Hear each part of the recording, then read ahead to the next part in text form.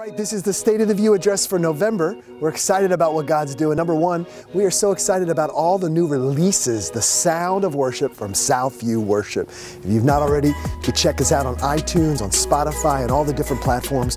We have our latest song came out last week called Kingdom Come. And these are all anthems of Southview. So, so far this year, we've released five songs. Check that out. Come on now, Southview. And the next thing I want to talk to you about is our children's ministry.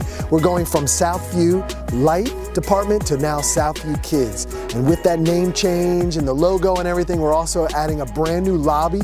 So maybe you've gone through it, you've seen it. We're in the midst of making our lobby not only safe and secure, but also a lot easier for in and out. So these are little things that we're doing just to make this building work as we transition to what my next announcement is next Sunday, November 10th. Do not miss the services. We will have a special guest and we will be sharing very up to date pictures, come on now, of the new building and updates on the process of our building and our capital campaign we're going to be doing. This is an exciting historical time for Southview. So make sure you're here November 10th. You can come to the 9, the 11, or 1. You don't want to miss this. And that's your State of the View address for November.